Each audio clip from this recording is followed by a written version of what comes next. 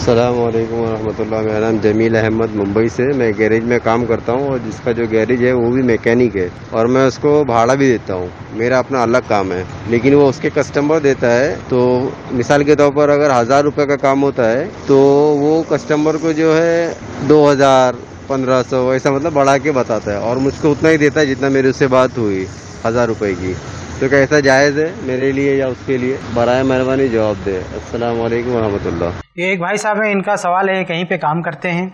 बुनियादी जो सवाल है वो ये कि ये जो काम करते हैं तो कोई तीसरा आदमी है बीच में जो इनके और कस्टमर के बीच में होता है। तो वो कस्टमर को लेकर आता है और ये उस कस्टमर का काम करते हैं।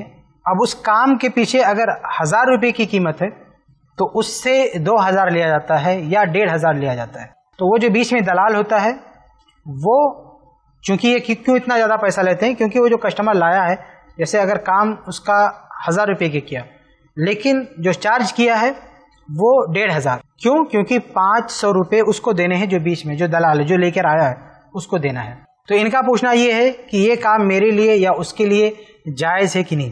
तो देखिए, यहाँ पे दो शक्ल हो सकती है। एक ये कि आप कोई काम कर रहे हैं और आपको बैठे बैठाए कस्टमर नहीं मिल रहे हैं।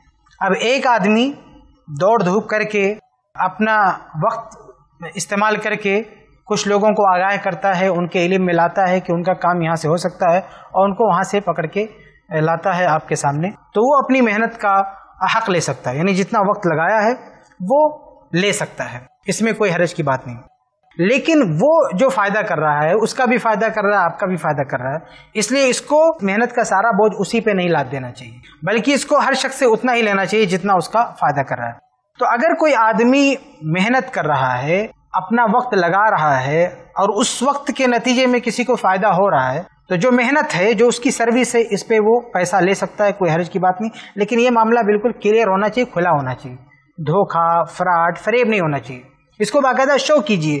बाकायदा बताइए। ऐसा नहीं कि आपने एक काम कर दिया और चुपके से कुछ और वसूल लिया उसके लिए। बाकायदा इसको ओपन कीजिए, साफ़ कीजिए वाजे कीजिए। आपका जो काम किया गया है, उसकी ये कीमत है। और इस काम के पीछे फला साहब की भी मेहनत है, उनकी भी ये कीमत है। इसको वाजे करके ये काम कीजिए तो इनशाला इसमें कोई मसला नहीं है। ये एक शक्ल है।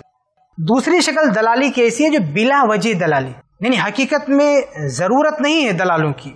एक आदमी काम कर रहा है और सामने कस्टमर की एक लंबी फहरिस्त है, उनको पता भी है, वो यहाँ तक पहुँच सकते हैं दुकान तक। लेकिन बिला वजह कुछ लोग बीच में रुकावट पैदा करते हैं। वहाँ दलाली की कोई ज़रूरत नहीं है, लेकिन फिर भी वहाँ पे घुस जाएँगे लोग दलाली करने के लिए। तो वो सामने वाले का भी नुकसान करते हैं, इसका दोनों का नुकसान करते हैं। और ये काम गलत है, क्योंकि यहाँ कोई ज़रूरत नहीं है। यहाँ सिर्फ़ आप अपना पेट पालने के लिए बिला वजह दूसरों का नुकसान कर रहे हैं।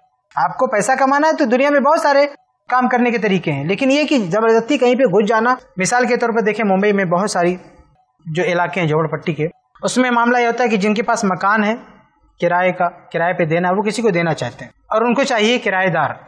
तो ऐसी बहुत सारी जगहें हैं जहाँ मकान खाली है और किराए पे लेने वालों की एक लंबी तादाद है, वो खुद ढूंढ रहे होते हैं। लेकिन बराह रास्त इनको मालिक मकान से नहीं मिलने दिया जाता है। बीच में कुछ दलाल किस्म के लोग होते हैं। और ये लोग उससे भी वसूलते हैं, इससे भी वसूलते हैं, बिला वजह। चलो, ये शक्ल भी जायज़ हो सकती है, अगर वाकई कहीं पे ऐसा मामला है, यानी कहीं पे किसी का मकान खाली है, किसी के इलम में नहीं है।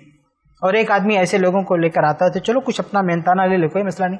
लेकिन ऐसी जगहों पर जहाँ बिल्कुल मामला ओपन है, क्लियर है कि चलो भाई, इसका घर खाली कोई लेना चाहता है। बिला वजह दलाल बीच में घुस के और अच्छा खासा पैसा कमाए और दोनों का नुकसान कराए, ये दुरुस्त नहीं। यहाँ पर एक चीज़ ये भी होती है कि जो दलाल लोग हैं, ये मालिक मकान से जाके क्या कहते हैं, एक आदमी रह रहा था बेचारा दो साल से। तो उसे कहते हैं कि कितना किराया दे रहा है?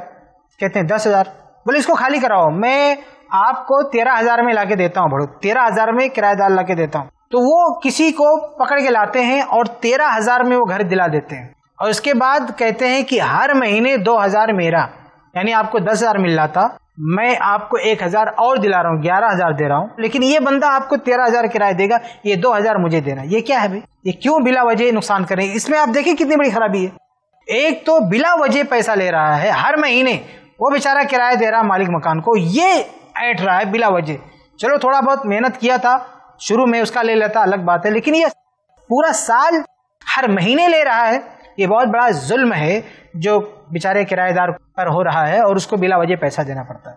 और एक दूसरी खराबी क्या है कि बार बार इनकी हरकतों की वजह से, इन दलालों की वजह से ये मालिक मकान रूम खाली कराते हैं। एक आदमी अच्छा खासा रह रहा बिला वजह उसको खाली करा देंगे। बिला वजह और एक तीसरा नुकसान ये है कि बिला वजह कुछ लोग किराया भी बढ़ाते हैं। जब ऐसे दलाल आके लालच देते हैं कि आपको दस हज़ार दे रहा मैं बारह तेरह में लाता हूँ तो मालिक मकान सख्ती करता है। उसका किराया बढ़ाता है और कहता है, नहीं बढ़ाओगे तो तो खाली करो।